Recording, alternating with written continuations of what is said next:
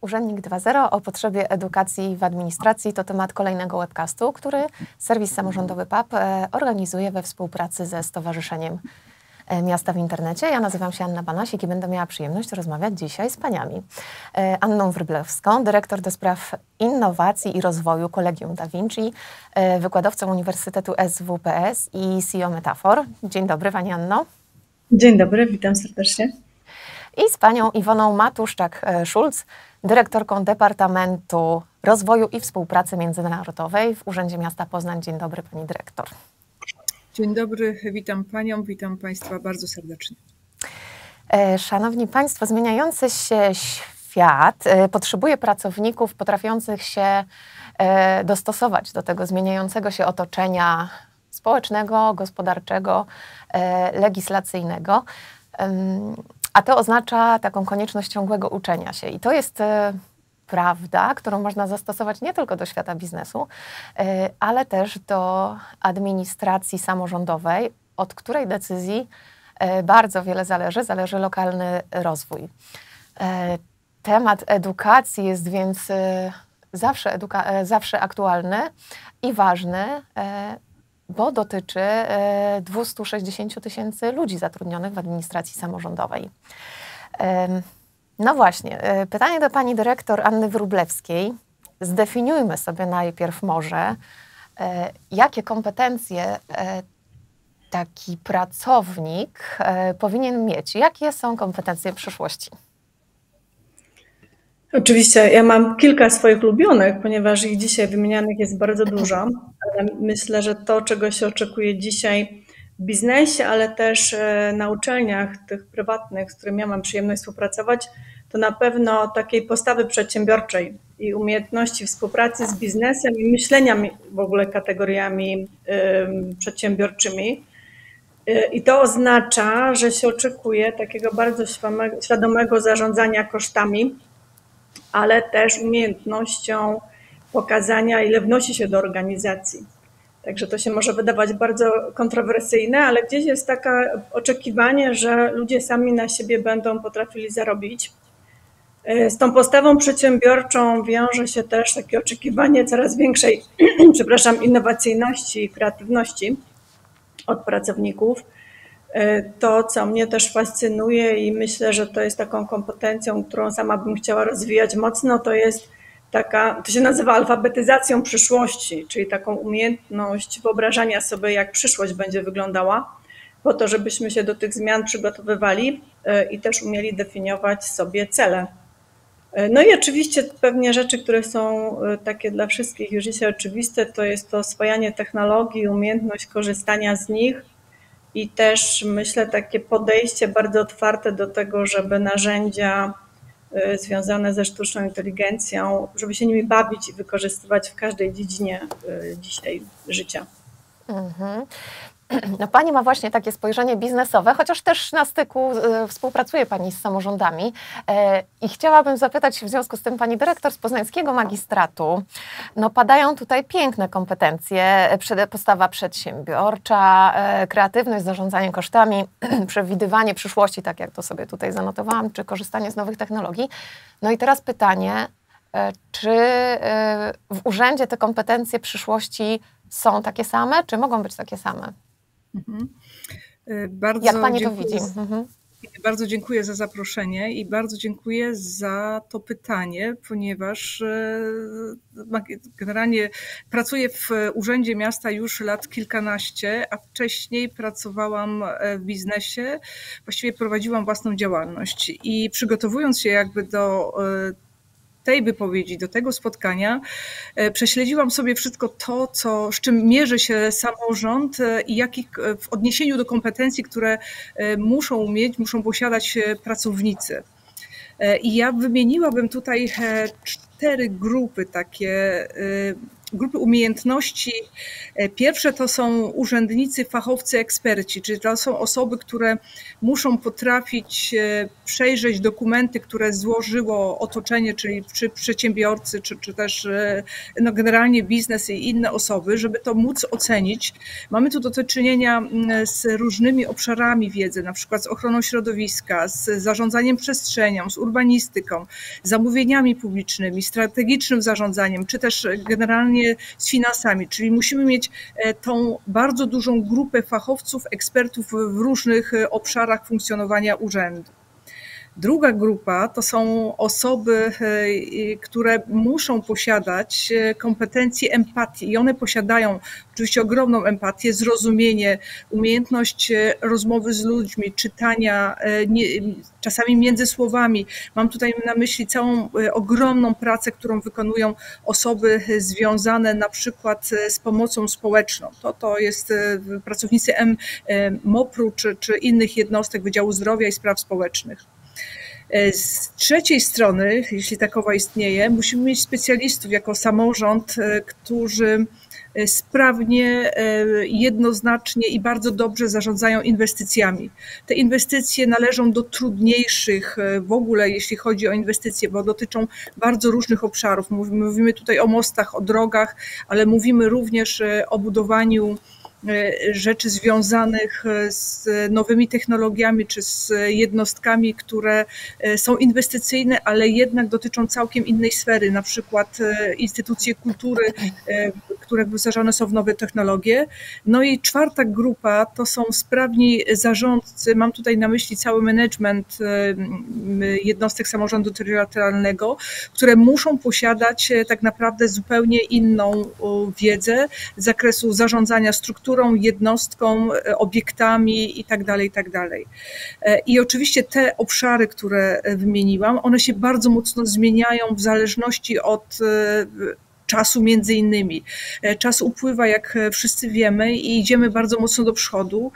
I rzeczywiście to, co obie Panie wskazałyście, te umiejętności związane chociażby z nowymi technologiami, ale również z umiejętnością trochę innego słuchania ludzi, bo ludzie się też zmieniają e, i w inny sposób artykułują swoje zupełnie inne potrzeby, to ma ogromne, ogromne znaczenie. E, no właśnie, ja tak wiedziałam, że w tej Pani wypowiedzi tak coś czułam, że e, jako ten ważny komponent wybrzmi jednak wiedza. Mówiła Pani o fachowcach. No właśnie, bo samorząd jest jednak tym specyficznym środowiskiem, e, gdzie te zmieniające się przepisy i podążanie za legislacją ma ogromne znaczenie. E, pani dyrektor, do pani dyrektor Wróblewskiej się teraz e, zwracam. Czy w pani opinii mm, samorząd może być ośrodkiem kompetencji przyszłości, o których pani mówiła? Czy, czy jak słyszy pani urząd, to ma Pani takie naturalne skojarzenie, że to e, są kompetencje przyszłości? Dziękuję za to pytanie. My z Iwoną współpracujemy od jakiegoś czasu i teraz postaram się, znaczy nie muszę być polityczna oczywiście. Ja mam w głowie pewne idee, które są bardzo mocno związane z nowymi modelami zarządzania. I czy dzisiaj urzędy podążają za tym? Myślę, że biznes nawet za tymi modelami nie podąża. I tu się mogę powołać na Garego Hamela i Michel Zanini, ostatnią publikację, która się nazywa Humanokracja. Mnie pasjonują partycypacyjne, płaskie struktury, w których ludzie jednak myślą jak przedsiębiorcy i to oczywiście kompetencja empatyzacji, y, odwracania perspektywy y, jest oczywista w każdym środowisku. I nie wiem tylko, czy potrzebna jest aż tak bardzo wiedza dzisiaj, eksperckość na pewno, ale myślę, że bardziej mm, potrzeba takiego spojrzenia na mm, narzędzie otwartej innowacji, czy umiejętność pracy projektowej i angażowania ekspertów na poszczególnych etapach e, dochodzenia do rozwiązań. E, jestem pewna, że urzędy, tak samo jak instytucje publiczne i biznes, mogą być ośrodkami, e, które są właściwie wzorami jak rozwijać kompetencje przyszłości. Natomiast myślę, że to jest bardzo, bardzo trudne i jednym z takich przykładów moich ulubionych y, z korporacyjnych rebeliantów książka też, którą przy okazji, na którą się tutaj mogę powołać, jest Ministerstwo Spraw Społecznych w Brukseli. I tam pozwala się urzędnikom na ogromną elastyczność i ogromną autonomię i pokazuje ten przykład, jak można zmienić tradycyjne struktury organizacyjne. Natomiast tam jest zupełnie inny kontekst, myślę, polityczno-gospodarczy i chyba też rozwój społeczny jest na innym etapie. Myślę, że to jest możliwe i że to powinno, tak powinno być, ponieważ urzędy mają ogromną moc wpływania, oddziaływania na środowiska lokalne i y, biznesu, instytucji publicznych, mieszkańców i różnych grup interesariuszy. Natomiast myślę, że to jest bardzo, bardzo trudne w tych systemach, w których my dzisiaj funkcjonujemy. Bardzo trudno jest to zmienić i myślę, że dzisiaj tak nie jest. No właśnie, to chyba powinnam e, zmienić pytanie, czy powinien być, czy urząd powinien być e, ośrodkiem myślę, takich kompetencji? Tak, mhm. myślę, że powinien być wzorem do naśladowania, absolutnie. Mhm. Powinien być inspiracją też dla biznesu, bo przecież miasta mają tą moc scalania y, uczelni, y, biznesu, różnych fundacji, stowarzyszeń, NGO-sów. Tak, myślę, że to powinien być wzór do naśladowania. Mhm. Znaczy, jeśli, no. jeśli można mm, tutaj e, odpowiedzieć, oczywiście być może, że powinien. Ja myślę, że e, w bardzo dużej e, liczbie przypadków jest taką inspiracją ale powiem, e, troszeczkę się, się cofnę, bo jednak jest pewna różnica między działaniem e, jednostek samorządowych a biznesu. E, mam akurat porównanie, bo pracowałam i w jednym obszarze, i, i w drugim. Takim, taką główną różnicą jest w przypadku biznesu jest właśnie zysk, który w jakiś sposób definiuje cele i jest łatwiejszy w rozliczaniu. Oczywiście ja nie mówię tylko o zysku finansowym, ale y, można, można go sprowadzać do tego, bo na przykład zadowolony człowiek, który pracuje w, w przedsiębiorstwach, również wpływa na to, że na koniec ten wynik jest na przykład dodatni. W przypadku jednostek samorządowych myślę, że zadanie jest rzeczywiście niezwykle trudne i trudniejsze czasem sobie myślę, że o wiele trudniejsze niż w biznesie, ponieważ tych celów jest wiele, E, grupa odbiorców jest bardzo szeroka i e, bardzo mocno zdywersyfikowana. E, trudno zapowiedzieć, znaczy nie zapobiec, tylko zadowolić wszystkich. I to jest też ciekawe, że czasami, czy w większości cele e, długookresowe wcale nie są e, jednoznacznie do zaakceptowania ich, znaczy ich realizacja do zaakceptowania przez mieszkańców. E, I tutaj rozmawiając, przygotowując się do rozmowy wczoraj z, z Anią, doszłyśmy do wniosku, że takim elementem spójności, która rzeczywiście być może nas tutaj w którymś momencie się spotkamy, to jest właśnie wizja tego dobrego świata o czystym powietrzu, czystym środowisku, o tym tak zwanym zrównoważonym rozwoju. Bo rzeczywiście zarówno biznes, jak i tutaj miasto bardzo mocno dąży w tym kierunku, ale e, tak jak powiedziałam, te kompetencje są rzeczywiście bardzo potrzebne. E, tak jak pani redaktor na to e, zwróciła uwagę, czy, czy jest miasto inspiracją? Myślę, że w niektórych obszarach na pewno tak. Wspomniała Pani o ochronie środowiska. Partnerem tego webcastu jest Stowarzyszenie Miasta w Internecie, więc e, ja tak sobie myślę o e, inwestycjach e, telekomunikacyjnych i to, co Panie mówią, to sobie przekładam tak, to co Pani Wróblewska powiedziała, że warto, żeby był w urzędzie taki wizjoner, który potrafi przewidzieć, że być może za chwilę będzie potrzebna jakaś inwestycja, na przykład telekomunikacyjna, a z drugiej strony potrzebny jest fachowiec. Kiedy przychodzi już co do czego i przychodzi do wydawania, nie wiem, pozwoleń i tak dalej, no to muszą być e, urzędnicy, którzy e, mają po prostu e, wiedzę. No a żeby tak było, no to trzeba się uczyć. I to jest to, o czym zaczęłam, od czego zaczęłyśmy. Trzeba być na bieżąco. I pytanie do pani Wróblewskiej, no bo uczenie się przez całe życie to jest takie hasło, które już każdy mm, na pewno zna, słyszał. E, no ale jak to zrobić w praktyce? Czy to są studia podyplomowe, czy też jakieś e, inne formy wchodzą w grę, które realizują to hasło? Może warto spojrzeć na ten proces uczenia się z perspektywy indywidualnej, takiej zespołowej, czy to przedsiębiorstwa, czy instytucji. I my się, moim zdaniem, jest potrzebna zmiana paradygmatu w ogóle uczenia się i mierzenia efektywności. Te stare modele się przestały sprawdzać i uczelnie już o tym wiedzą i w związku z tym bardzo mocno indywidualizują i personalizują proces kształcenia. Z tym się wiąże pewnie taka potrzeba budżetu osobistego. Myślę, że dzisiaj każdy z nas pewnie mieć taki zaplanowany budżet osobisty na rozwój, żeby mieć większą autonomię w decydowaniu o tym, w jakim kierunku chcemy się rozwijać. A jeśli chodzi o same metody uczenia, to na pewno one muszą być dzisiaj bardziej imersyjne i bardziej angażujące. Mówi się dzisiaj o nanolearningu, czyli rozbijaniu materiału na mniejsze części, ponieważ nasza percepcja w związku z nowymi technologiami i pewnego rodzaju uzależnieniami też od social mediów, my nie jesteśmy w stanie absorbować większej ilości materiału. E, mamy problem ze skupieniem coraz większy, więc wszystkie te formy związane o gamification, e, czy nawet coaching, facylitację, mm, narzędzia związane z, wirtualną i rozszerzoną rzeczywistością, to są te kierunki, w którym edukacja na pewno pójdzie.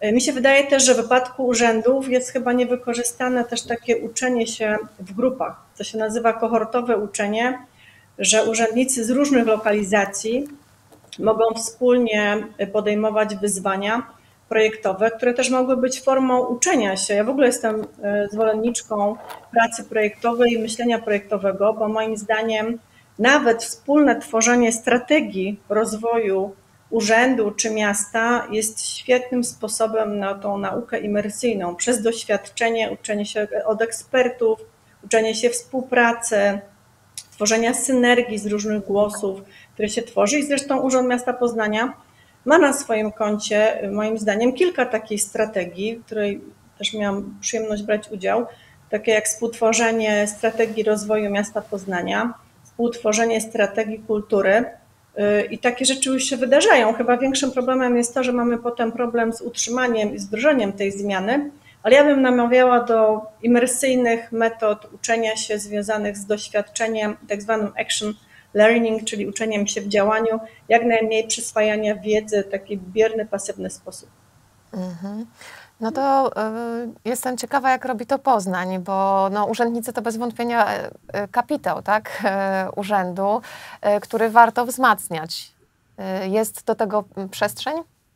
Tak, e, to rzeczywiście jest ogromny kapitał e, i przychodząc e, i pracując w Urzędzie Miasta Poznania dostrzegam naprawdę bardzo dużą część osób, które są świetnymi specjalistami w danej dziedzinie. I powiem, powiem tak, że oczywiście ten rozwój jest niezwykle istotny i tutaj urząd sobie zdaje z tego bardzo mocno sprawę.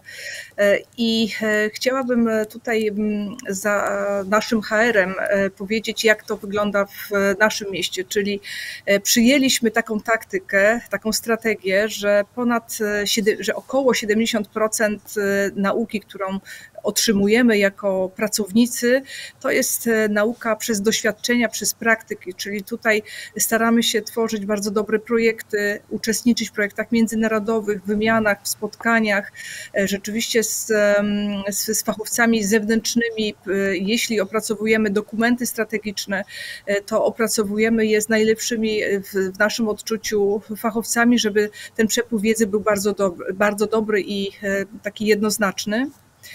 Około 20% zakłada się, że to są e, to jest wiedza, którą uzyskujemy w, tutaj z kontaktu z osobami e, z innych miast, czy tutaj z, z wewnątrz administracji, a tak naprawdę tylko 10% to jest e, na, e, jakby wiedza, którą otrzymujemy przez naukę taką formalną, czyli przez studia podyplomowe, przez szkolenia różnego typu. Oczywiście to nie oznacza wcale, że nie korzystamy z tych zewnętrznych instytucji czy też e, sposobów e, otrzymywania wiedzy, ale oczywiście mm, e, no, stanowią one taki trochę mały, mały procent. Chciałabym zwrócić uwagę na jedną rzecz, która w moim odczuciu w przypadku administracji publicznej jest niezwykle istotna. Mam tutaj na myśli mieszkańców czy też społeczeństwo. Ostatnich latach, szczególnie w Poznaniu, już właściwie od 2017 roku, jak tworzyłyśmy tutaj wspólnie z dyrektor Wróblewską, z Anią strategię rozwoju miasta, wyszło nam, że miasto Poznań i jego mieszkańcy mają E, ogromną i przemożną ochotę e, takiego sprawstwa, czyli chcą brać sprawy w swoje ręce, bardzo im zależy na, to, na tym, żeby współorganizować, e, żeby mieć wpływ na podejmowanie decyzji, takich, które dotyczą jednostki samorządu terytorialnego, czyli Urzędu Miasta. I to się dzieje, to się dzieje coraz mocniej. Widzimy bardzo ważne i mocne ruchy, takie oddolne mieszkańców, rad osiedli, które w tej chwili e, posiadając i wykorzystując swoją wiedzę, zaangażowanie, tworzą naprawdę bardzo fajne rzeczy.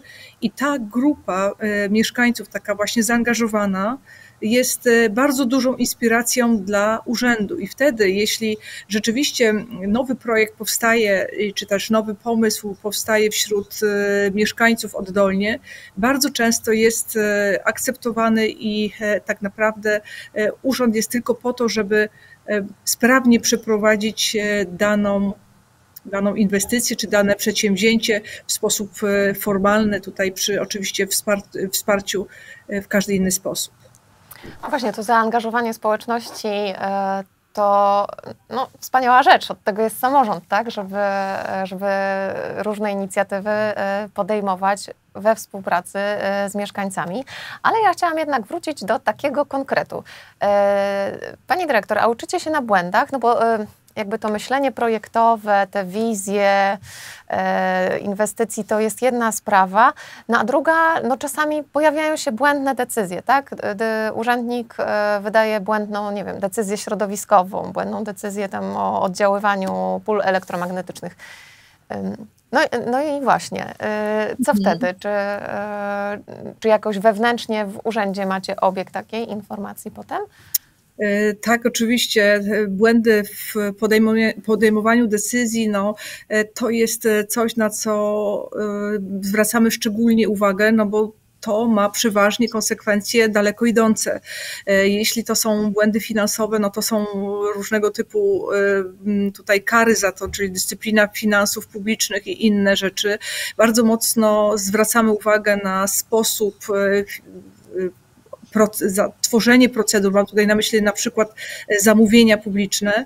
E, w Urzędzie Miasta jest Wydział Kontroli, który e, sprawdza możliwość czy, czy sposoby realizacji pewnych działań, sprawdza procedury, które są realizowane. To jest tak ze strony formalnej. Ze strony mniej formalnej, oczywiście zwracamy uwagę na sposób myślenia i patrzenia na na, rzeczywistość i bardzo często jest to związane być może e, nie do końca z błędem, ale ze zmianą otoczenia. Jeśli jest zmiana otoczenia e, i inne podejście mieszkańców, bo przecież to się bardzo często zmienia, no to też e, jesteśmy zobowiązani śledzić to i to po prostu korygować w jakiś sposób i podchodzić do tego w, w, w tak, żeby po prostu zrozumieć to otoczenie. No to mam tak. Dobry urzędnik to zarządca y, inwestycji, y, empatyczny, y, fachowiec w swoim zakresie, a więc posiadający odpowiednią wiedzę, i to, co już wcześniej mówiłyśmy, korzystający, bo przekładam teraz ten świat biznesu na urząd, korzystający z nowych technologii, wizjoner kreatywny i z taką postawą przedsiębiorczości. I myślę, że się zgadzamy, że to ciągłe uczenie się, potrzeba podnoszenia kompetencji to jest taki paradygmat nie tylko dla świata biznesu, ale też dla administracji samorządowej. I tak sobie myślę, tylko się zastanawiam, w którym to się worku mieści. Czy tych 10% edukacji tej formalnej, czy 90% pozostałej, ale że na przykład takie programy edukacyjne organizowane przez różne organizacje pozarządowe, e, poradniki przez nie przygotowywane, między innymi przez Stowarzyszenie Miasta w Internecie, też mogą się wpisać w tę potrzebę uczenia. Moimi gośćmi były e, pani Anna Wróblewska, dyrektor do spraw innowacji i rozwoju Kolegium Da Vinci, wykładowczyni Uniwersytetu SWPS CEO Metafor. Pięknie dziękuję za rozmowę. I pani dziękuję Iwona Matuszczak-Szulc, dyrektorka Departamentu Rozwoju i Współpracy Międzynarodowej w Urzędzie Miasta Poznań. E, bardzo dziękuję. To był webcast serwisu samorządowego PAP, organizowany we współpracy ze Stowarzyszeniem Miasta w Internecie.